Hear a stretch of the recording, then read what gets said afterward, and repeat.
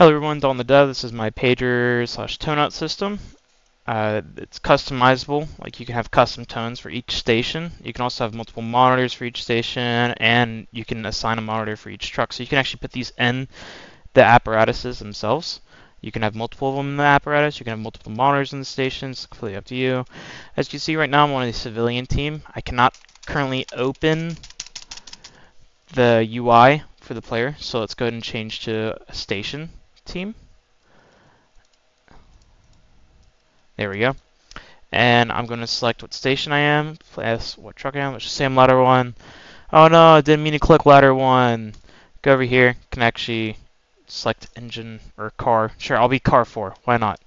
Uh, there's no calls right now, so can't view them.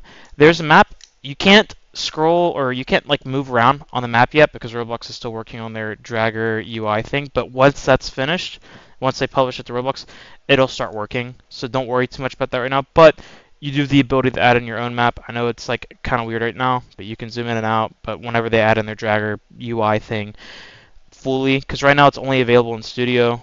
I didn't know that until after I finished the product. I thought they had already made it available on Roblox Player, but it should be available on the player soon enough.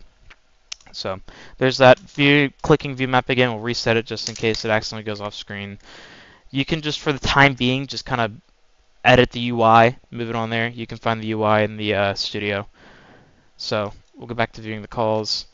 Now you can, this is what the dispatcher panel looks like. I'm just to put 333 test av as the call location.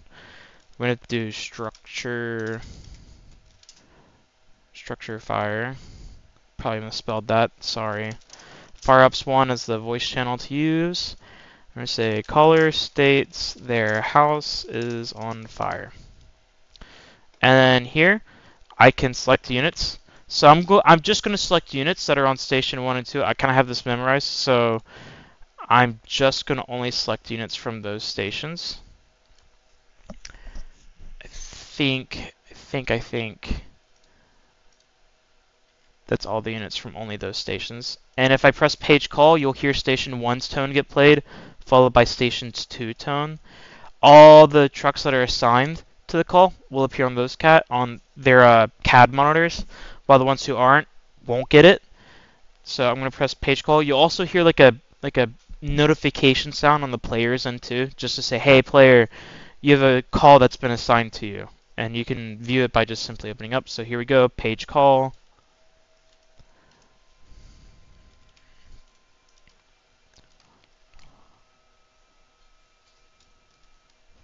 So as you can see, only station 1 and 2 got paged because none of the station 3 units were assigned to it. But any units that were assigned to it, which if I zoom in on this, Engine 5, Ladder 1, Rescue 1, Rescue 2, Squad 2, you know, those units were assigned to that call. But if I do, let's just do just station 3 units. Um,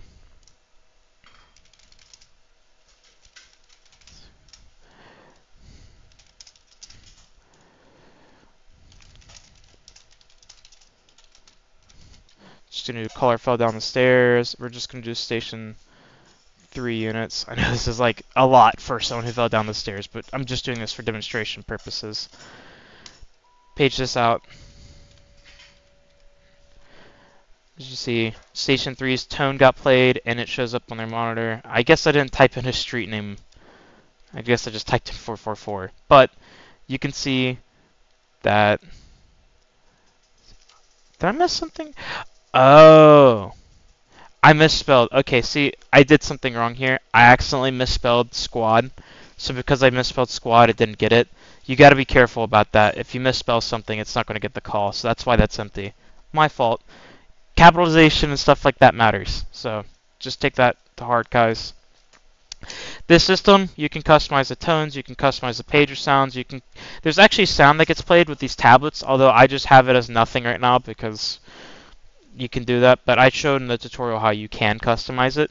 You can also customize how many stations you have, what units you have for the station, uh, what fire teams you have, because the, this UI is locked to only be available for the fire teams. That's what I was showing at the beginning. You can also customize who has access to this dispatch panel right here. Um, actually, if I go back over here, I can press view calls and I can view different calls. I'm car 4. Car 4 is on this right here. It'll always list out in alphabetical order, so don't worry too much about this isn't first two, this is just alphabetical. Um, to remove calls, you just go here, click a call you want to remove, and bam, it's gone. It's no longer there.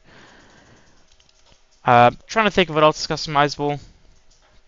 You can customize the notification sound that the player gets on their end. Um, anything else? I want to say that's it. Probably is. Well, sorry for the background noise, but yeah, I mean that's that's that's pretty much it. Straightforward. Uh, thank you for watching. If you have any questions, feel free to open a ticket on our server, and have a nice day.